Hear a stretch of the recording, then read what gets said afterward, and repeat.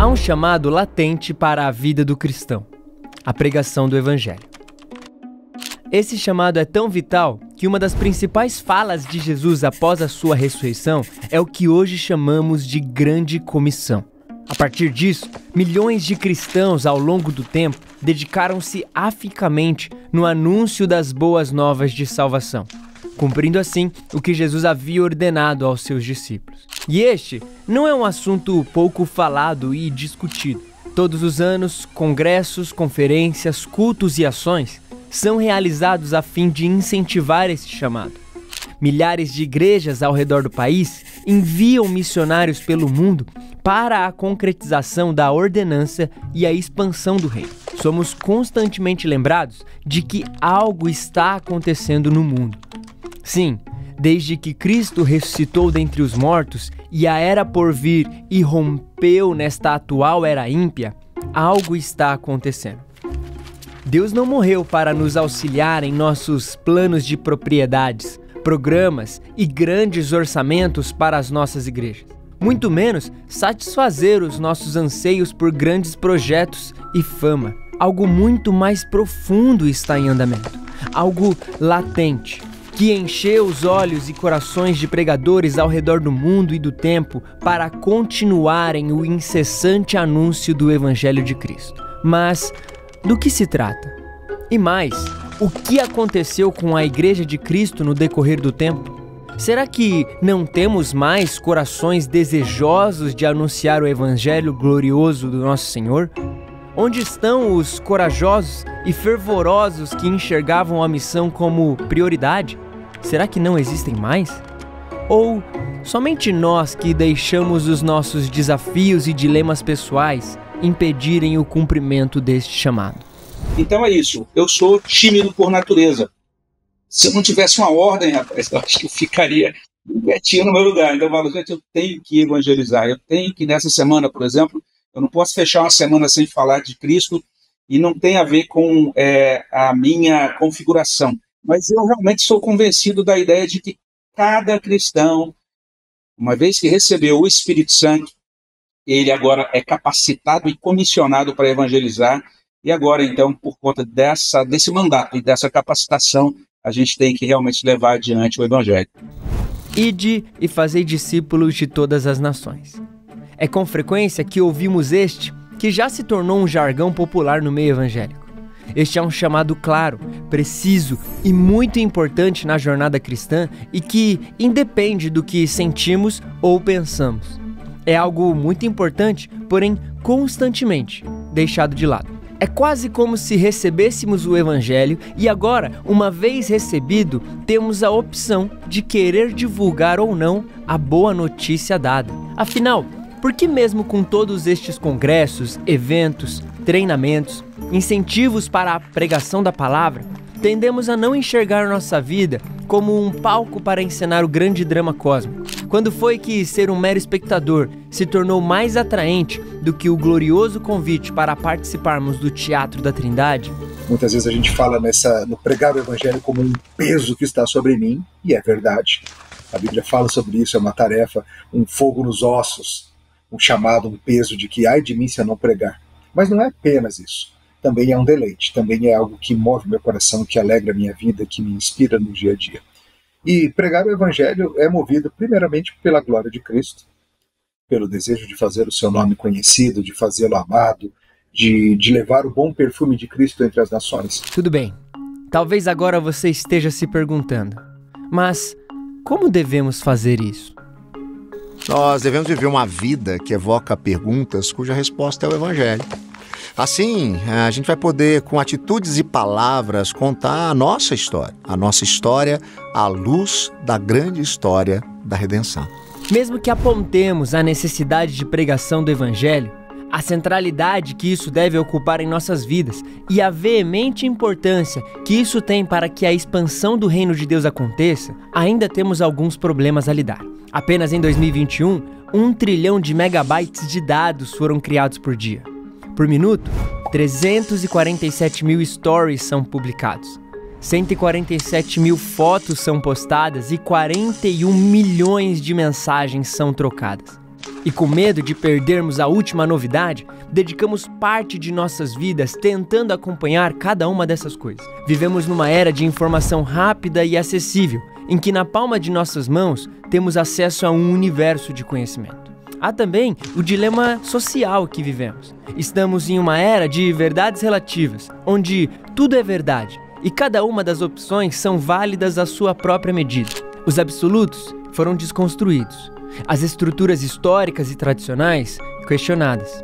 E assim, a própria validade da fé cristã é desmoralizada como algo válido e legítimo para os dias atuais. E por conta disso, esta é uma era também extremamente anticristã. Todas as verdades importam e são relevantes, menos a verdade expressa na revelação que Deus nos deu. Estes e outros dilemas despertam em nós um senso de urgência e nos colocam a pensarmos: como então pregamos de maneira relevante o Evangelho mesmo neste mundo em que vivemos? E partimos então em busca de estratégias para tentarmos contornar estes dilemas. A questão, entretanto, não é meramente estratégica aqui, mas uma questão de coração. Com frequência, nos colocamos na posição de olharmos os desafios vigentes e dedicamos esforços contínuos em planos para conseguir superá-los. E embora seja extremamente necessário a utilização de táticas para o exercício missional, por conta do nosso coração desajustado e às vezes até mesmo desmotivado diante dos desafios, nos esforçamos mais em aprender sobre missões, em ouvir mais sobre um novo método e mais sobre as tendências missionais do que por ativamente nos envolvermos com a missão. Embora necessárias e importantes, nos escondemos atrás de uma busca para melhorar nosso exercício missional, sem realmente exercê-lo diariamente. Vamos atrás dos meios para a solução, sem efetivamente solucionarmos a questão em si. É claro que os desafios enfrentados são novos e pertencem a este pequeno retrato histórico presente que temos, mas ainda assim não é exclusivo. Durante a história da igreja, sempre houve desafios e crises que dificultavam a missão da igreja de anúncio do evangelho. Ainda assim, nunca foi suficiente para impedir que a palavra do Senhor fosse divulgada e anunciada a todos os cantos. Cada época tem suas oportunidades e desafios. A igreja lidar com problemáticas e embates sociais e espirituais de seu tempo não é exclusivo da contemporaneidade. A problemática vigente nunca foi suficiente para impedir os cristãos de anunciarem, e em alguns casos, até morrerem em prol da mensagem que lhes fora confiada. Ao mesmo tempo que Roma perseguia os cristãos e matava aqueles que professavam a fé em Cristo Jesus, também foi Roma quem proporcionou estruturas sociais, como estradas melhores, por exemplo, para que a mensagem fosse propagada mais rapidamente. Os desafios que enfrentamos também estão sob a tutela da providência de Deus. E não só isso, por causa dos desafios, algumas vezes nós tentamos nos esconder atrás de palestras e congressos, como também abraçamos jargões a fim de diminuir a abrangência de nossas tarefas, como acontece com o famoso ditado que você certamente já ouviu: pregue o evangelho em todo tempo e, caso necessário, utilize palavras. Embora bonito, no sentido de nos levar a vivermos uma vida que testifique a obra de Cristo, não é suficiente acharmos que somente as nossas atitudes possam anunciar a obra do Senhor. Palavras são necessárias. Então, o Evangelho é uma mensagem. E isso precisa ficar claro porque o Evangelho não é um bom exemplo.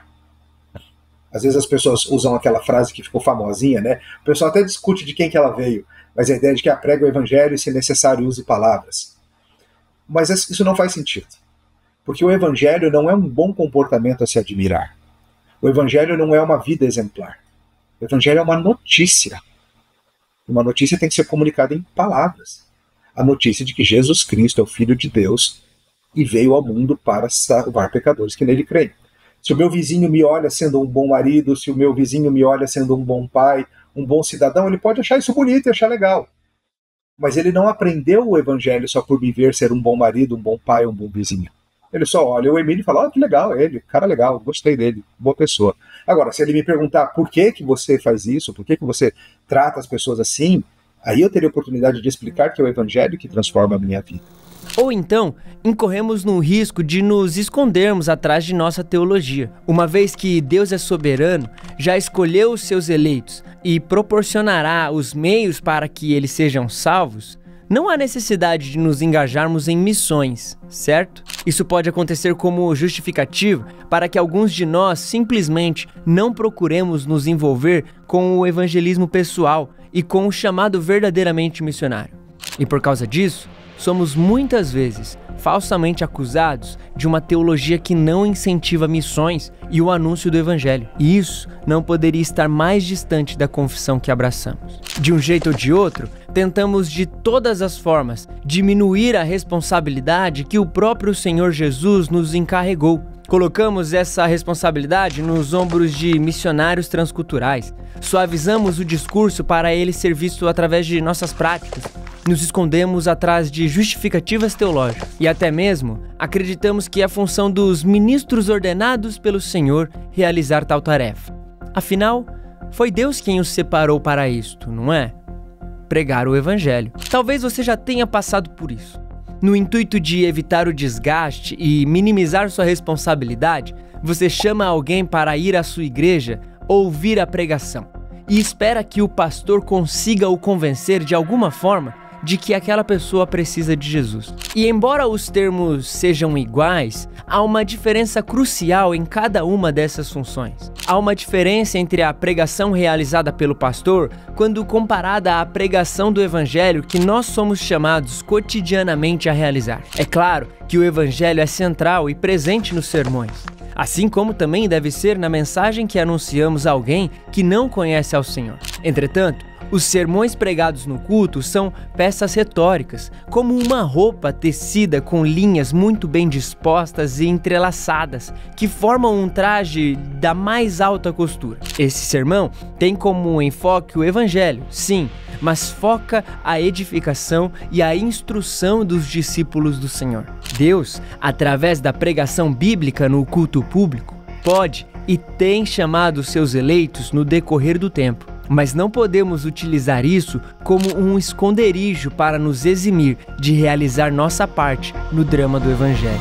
Então nós precisamos fazer de Cristo o assunto central dos nossos púlpitos, fazer de Cristo o eixo central do nosso ministério, fazer de Cristo o centro da igreja, porque quando Cristo é exaltado, ele salva os eleitos, ele santifica a igreja e ele abençoa a nossa vida. Se nós fizermos isso no púlpito, o nosso povo vai aprender a fazer isso na vida. E aí então vai ser fácil para o nosso povo falar de um Jesus acerca do qual eles escutam todo domingo. O Evangelho traz demandas sobre o ouvinte. Então, cada porção da palavra de Deus que eu prego para a minha igreja local, eu preciso explicar e aplicar.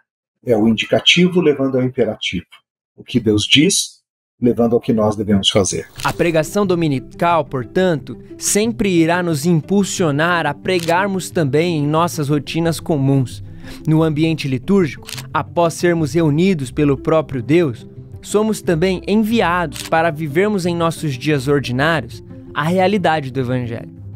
E essa realidade também abrange a pregação, o anúncio e a proclamação da obra redentora de Jesus Cristo. Quando não consideramos isto, assumimos uma postura que priva o próximo de experimentar a realidade plena e abundante em Cristo Jesus. O anúncio da obra de Cristo é também um sinal de que amamos aqueles a quem Deus criou a sua imagem e semelhança, mas que agora ainda se encontram em inimizade com Deus. É uma ação que, primariamente, diz respeito à glorificação de Deus e, em segundo lugar, diz respeito ao nosso próximo e não a nós. E que, ao fazê-lo, Deus é tão gracioso conosco que também nos abençoa. A pregação no culto litúrgico é extremamente importante, mas ela não nos dispensa das nossas responsabilidades. Até porque ela é reservada para poucos, ministros separados que a igreja reconhece que foram chamados por Deus para pregar as boas novas aos fiéis em um contexto formal. O chamado à pregação, entretanto, é diário e responsabilidade para todo o corpo de Cristo. Esse chamado é para todos nós. Em Atos 11, vemos o relato do anúncio que os primeiros cristãos realizavam. E para contar isso, o autor utiliza um vocábulo que, traduzido do grego, significa literalmente tagarelar. Então, aquela ideia da pessoa que está ali dentro do ônibus, entra com um colega de trabalho, falando de alguma coisa da vida e nesse contexto insere é, as boas novas de Jesus Cristo. Então, existe sim distinção de palavras, existe uma mesma missão que é realizada em contextos diferentes e o Novo Testamento usa vocábulos diferentes. É claro que a igreja pode e vai, inevitavelmente, envolver-se em muitos movimentos que visam o próximo em ações sociais de diversas formas. Mas isso também é realizado por outros grupos e organizações não religiosas. A evangelização, portanto, não pode ser confundida com estas coisas. A missão de evangelizar é exclusiva e só é possível de ser feita pela Igreja do Senhor, a qual ele mesmo enviou. A grande comissão, este tremendo chamado, é muito mais profundo. Qual é a dimensão então deste chamado e o que realmente ele exige de nós como igreja? Os onze discípulos partiram para a Galiléia, para um monte que Jesus lhes havia designado. E quando viram Jesus, o adoraram. Mas alguns duvidaram. Jesus, aproximando-se, falou-lhes dizendo: Toda a autoridade me foi dada no céu e na terra. Portanto, vão e façam discípulos de todas as nações, batizando-os em nome do Pai, do Filho e do Espírito Santo, ensinando-os a guardar todas as coisas que tenho ordenado a vocês. E eis que estou com vocês todos os dias, até o fim dos tempos. É comum ouvirmos o trecho Ide e pregai o Evangelho, ou então vão e façam discípulos de todas as nações. Mas não podemos nos esquecer do todo em que estas frases estão inseridas. O imperativo que Cristo comissiona à igreja é sustentado por uma estrutura poderosa. Toda a autoridade me foi dada no céu e na terra. Essa é a base de argumentação racional para tudo o que a igreja é chamada a ser e fazer. A comissão da igreja é, na verdade, dirigida por um propósito: fazer discípulos de todas as nações. Mas ela é impelida por uma promessa. Uma promessa que nos garante que, mesmo árdua a missão, o próprio Senhor estaria conosco todos os dias durante essa jornada. O anúncio do Evangelho, portanto, é abrangente. Nós temos o dever de cuidar do corpo, auxiliar uns aos outros. Esse cuidado ele envolve então um discipulado, um acompanhamento próximo dos que já tiveram seus olhos abertos para a verdade, para que assim a igreja se mantenha firme e caminhe unida em direção a Cristo. Esse chamado do cristão, segundo o teólogo Michael Horton, é conhecido como a Grande Comissão. Para Horton, a Grande Comissão não se limita apenas à proclamação do Evangelho embora isso seja parte crucial dela. Para ele, é também enfática a importância do discipulado, que envolve não apenas a conversão das pessoas ao cristianismo, mas também o ensino e a instrução delas nos ensinamentos de Jesus Cristo. A Grande Comissão inclui uma dimensão de transformação social e cultural, onde os cristãos são chamados a se envolver ativamente na sociedade, buscando influenciar positivamente as estruturas injustas e promover a justiça e a misericórdia. A evangelização é a proclamação do Evangelho de Jesus Cristo, chamando as pessoas ao arrependimento e à fé em Cristo Jesus. O discipulado, ele envolve o ensino e a instrução de novos convertidos, além, claro, do acompanhamento em direção ao amadurecimento na fé. É uma jornada de arrependimento e mudança. Não é meramente uma obra estática. A transformação pelo poder do Espírito Santo leva a igreja a olhar para a cultura e a sociedade em que está inserida, para promover atos que levem mais dignidade às pessoas, sempre à luz do Evangelho. E a missão da igreja é o reconhecimento de que a grande comissão é uma responsabilidade de todo o corpo, e não apenas de alguns indivíduos isolados. Somos chamados a ser instrumentos de Deus para a realização da sua missão no mundo. Essa missão é orientada pela autoridade que nosso Senhor possui sobre toda a existência. Não estamos aqui meramente angariando esta autoridade para Cristo, como se Jesus não fosse o Senhor, mas sim anunciando a autoridade que já pertence a Ele. Cristo não se tornará Senhor à medida que mais pessoas se convertem. Ele já é Senhor e nós anunciamos este senhorio, anunciamos o seu reinado, anunciamos o que ele conquistou para o povo que ele resgatou. Não pregamos sobre um rei futuro que ainda não tem poder. Nós proclamamos a boa notícia do rei que já exerce o seu reinado com graça e verdade. Esse anúncio não é independente e nem solitário. O próprio Rei e Senhor se faz presente e acompanha a sua igreja na missão. Nós temos uma grande mensagem e também o próprio Rei a nos acompanhar nesta marcha, anunciando o reinado daquele que nos resgatou. Dessa forma, é através do Espírito Santo que somos capacitados, impulsionados em poder, com a autoridade de Cristo, para chamar pecadores ao arrependimento discipularmos uns aos outros e olhar para o mundo em que vivemos, proclamando o impacto gerado pela grandeza dessas boas notícias. Porque se você não se relaciona com o Senhor, se você não fala com Ele todos os dias, se você não ouve o Senhor falar com você nas Escrituras, se você não tem comunhão íntima com Ele, a sua fé vai se esfriando. E estando vazio ou não cheio do Espírito Santo, você vai viver uma vida centrada demais em si mesmo. E não tendo um relacionamento com o Senhor, você não vai ter o estímulo para compartilhar acerca de um Senhor com quem você não se relaciona. Então, o Evangelho para você não pode ser uma mera verdade teórica. Aqui mora uma verdade importante a ser ressaltada. O Evangelho não é somente uma informação correta sobre a vida que aprendemos e possuímos não é unicamente um sistema de valores que aplicamos agora em nossas rotinas, ou um conjunto de ética que adotamos. O Evangelho é mais que isso. É viver o roteiro que Deus escreveu para nós, a história de Deus e a nossa participação nela, que é escrita em nosso coração. O Evangelho, de certa forma, é um drama.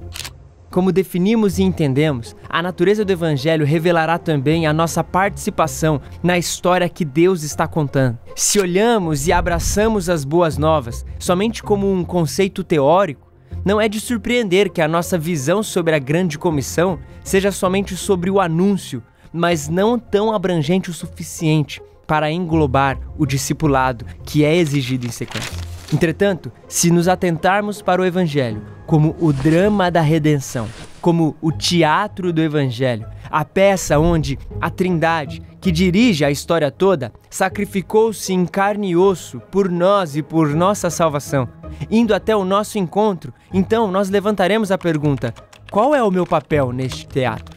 Não é apenas sobre uma boa informação que você dá, é sobre uma participação na grande história da graça de Deus. O nosso problema não é a ausência de informações corretas, mas sim que não sabemos processá-las ou o que fazer com elas. Com frequência, nós apresentamos sintomas bipolares. Professamos Cristo por um lado, mas nós seguimos as escrituras seculares. Atribuímos autoridade ao cânon bíblico, mas vivemos pelos códigos sociais.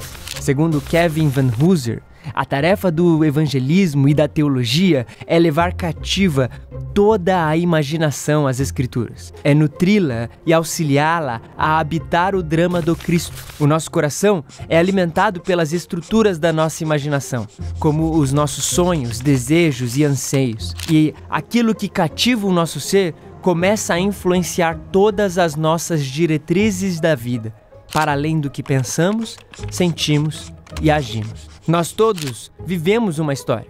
Você e eu temos os nossos dias e contamos cada um deles. Viver o Evangelho é ajustarmos toda essa narrativa. É centralizar a causa última da nossa existência diante do Senhor da história. No comando deste drama está Deus e não nós. O Evangelho nos faz finalmente compreender que não somos os senhores das próprias histórias, mas sim os participantes num drama divino. Para isso, precisamos da estrutura de referência teodramática e de uma imaginação revigorada pelas Escrituras. Logo, nós não precisamos de mais quadros, isto é, informações ou conhecimentos e dados disponíveis aos montes nas palmas de nossas mãos. Nós precisamos de uma nova moldura uma estrutura de referência ao qual podemos observar o quadro inteiro. Quando nós olhamos para a criação, queda, redenção e consumação, nós podemos elaborar essa grande estrutura da história bíblica e perceber os atos divinos que permeiam toda a palavra de Deus, unificando e expondo o grande drama da doutrina de Deus. De acordo com as Escrituras, a história humana é um drama em cinco atos dirigidos por Deus. Cada ato da peça é colocado em ação por um poderoso ato da fala de Deus. Contudo, em cada caso, há um antagonismo humano ou satânico ao ato divino. O primeiro ato é a criação, que vemos lá em Gênesis 1 a 3. O drama começa de fato quando Satanás tenta Adão e Eva para corromper a ordem criada. O ato 2, iniciado em Gênesis 12 com Abraão e continuado ao longo do Antigo Testamento, diz respeito à eleição divina, rejeição e à restauração de Israel. O drama aqui é a respeito se Israel crerá e obedecerá ou não à palavra de Deus. O ato 3, o ápice, é Jesus, a palavra de Deus que se fez carne. Nesse ponto, também o que dá origem ao drama é a questão de como as pessoas responderão a Jesus. O ato 4 começa com a nova aliança. O Cristo ressurreto envia o Espírito para constituir a igreja. O quinto e último ato consiste no juízo final, a consumação escatológica de todas as coisas, quando tudo será ordenado com retidão sob a autoridade do Cristo assunto aos céus. Vivemos, nos movemos e existimos nesta narrativa. Hoje, a igreja está entre a primeira e a segunda vinda de Jesus, no encerramento do quarto ato. O ápice do drama já aconteceu. Cristo ressurreto já está sentado à destra do Pai. O drama, porém, ainda continua. Cristo reina e conquistou a vitória. Porém, a pilhagem dos espólios da guerra continua. Já fomos conquistados por Cristo. O seu reino já começou e a vida eterna já é desfrutada, mas a sua plenitude ainda não se consumou, ainda não se concluiu a história. Nós ainda aguardamos o dia do sol da justiça, em que a história também terminará e as bodas do cordeiro serão celebradas. Este drama não é apenas mais uma narrativa que a igreja abraça, mas a história do mundo em que todos participam, reconhecendo isto ou não. E como discípulos, o nosso papel não é somente ouvir e crer na história, mas segui-la, adentrando nela com mente, alma e força. Usamos a imaginação dada por Deus no Evangelho para, com convicção, proclamar essa grande notícia, vivendo com fervor de coração para a glória do nosso Deus. Não é como se nós carregássemos um argumento fatal ou uma ideologia poderosa, mas sim é vivermos uma grande história, participarmos de um roteiro escrito por Deus. Então, se nós queremos pregar o Evangelho, nós temos que ter firme convicção.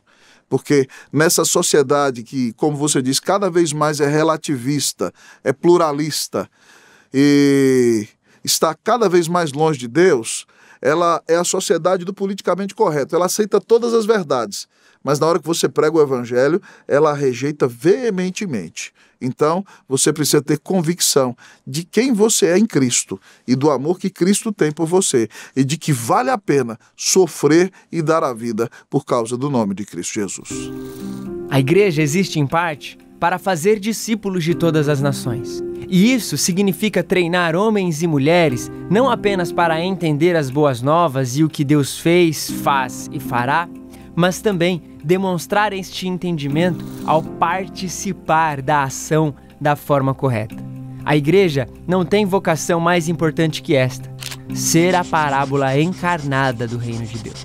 Participar deste teodrama como um ator ativo em contínua ação significa adotar o padrão de ver, julgar e atuar, exemplificado pelo próprio Senhor. De fato, a forma mais poderosa do evangelismo é a igreja viver o drama, dar testemunho em tudo o que diz e faz, dos multiformes modos pelos quais Deus torna, em Cristo, novas todas as coisas. Eu gosto sempre de citar uma poesia uh, da Adélia Prado, uma poetisa mineira, quando ela diz: De vez em quando eu olho para uma pedra e tudo que eu vejo é uma pedra. O evangelismo deve estar presente na vida da igreja, mas não deve ser algo banal. A igreja não pode sucumbir à secularização. Não podemos nos conformar com os pensamentos, convicções, comportamentos e compromissos do tempo atual. Não podemos tratar o evangelho e tudo o que envolve o reino de forma fria e calculista. A sensação é, é, que isso também acontece às vezes com o evangelho. A gente ouve a história do evangelho e diz: Ah, isso eu já sei, já sei de cor e a gente deixa de perceber as maravilhas contidas nessa mensagem. Não podemos deixar que a grande maravilha do Evangelho perca o brilho e se torne uma pedra na nossa estrada. Como um seixo jogado na rua que sempre está lá, mas que não tem mais a mesma importância. Nós falamos daquilo que nós cremos. Nós falamos daquilo que nós cremos. Eu acho que, que tem que ir por aí. É aquilo que a gente crê no nosso coração, a gente confessa com a nossa boca e a gente anuncia para os outros. Então, para começar, eu creio que o, quem está anunciando o evangelho, falando de Cristo para outras pessoas, tem que crer nele. Nós não estamos aqui simplesmente para espalhar notícias sobre algo que não nos diz respeito. Mas é aquilo que, que eu sirvo, aquele a quem eu sirvo, aquele que perdoou os meus pecados, aquele que transformou em minha existência. Eu quero que outras pessoas ouçam acerca dele também. Então começa aí. O que não pode faltar na comunicação do Evangelho? Um entendimento de quem comunica, para começar, e a mensagem. Não podemos, portanto, perder o foco do nosso chamado, que claramente foi deixado para nós através das Escrituras a respeito da pregação. A ordem da Grande Comissão é um guia neste mundo repleto de caos e desordem, que está envolto pelo pecado. O chamado à pregação do Evangelho nos ajuda a ajustar o foco e concentrar nossas forças no que de fato deve ter nossa energia neste período, até o retorno de Cristo. É um chamado que ajusta o foco em Cristo, não em nós, que nos faz mais dependentes de Deus, mais conscientes da Sua graça, mais apegados ao seu amor e mais certos de Sua poderosa justiça. Então, os entraves são a cultura, os entraves somos nós mesmos, os entraves são o nosso medo, talvez o nosso temor dos homens, Talvez a gente ache que cabe a nós convencer os corações das pessoas, e a gente acha, ah, eu não vou ser capaz de pregar corretamente porque eu sei lá o que, esse cara vai dizer, melhor ficar quieto aqui. Sendo que a gente esquece que é o Senhor quem, quem usa os nossos pequenos esforços para abrir corações e fazer o que Ele deseja. Mas é muito importante na nossa, na nossa, no nosso dia a dia que a gente é, possa começar o dia com essa oração. Deus, me mostre hoje alguém né, me encaminha a uma pessoa a, a, quem eu possa realmente ser útil nos termos do teu evangelho e me ajude a ter as palavras corretas, a abordagem correta, a ser um instrumento adequado nas tuas mãos para alcançar essa pessoa. Então, orar e fazer o trabalho de evangelização nessa dependência do Espírito Santo de Deus. Pregar o evangelho é anunciar ao pecador e ao mundo inteiro que o Deus eterno, santo, santo, santo, que criou o mundo para sua glória e criou o homem para glorificá-lo, poderia lançar o homem no inferno por causa da rebelião do homem contra este grande Deus, este Deus maravilhoso e eterno, mandou o seu único filho ao mundo para morrer na cruz do Calvário e pagar os pecados do seu povo, de maneira que todo aquele que se arrepende da vida de pecado que tem levado e crê que Jesus Cristo é o Filho de Deus, o único mediador entre Deus e os homens, recebendo-o pela fé em seu coração, essa pessoa terá a vida eterna, terá o perdão de pecados, terá a paz com Deus, será a habitação de Deus e terá um lugar garantido nos céus, se crer em Cristo Jesus como seu único Senhor e Salvador. Pregar o Evangelho é transbordar em nossas atitudes e palavras do amor com o qual nós somos amados por Deus graciosamente em Cristo Jesus, apesar de não merecermos.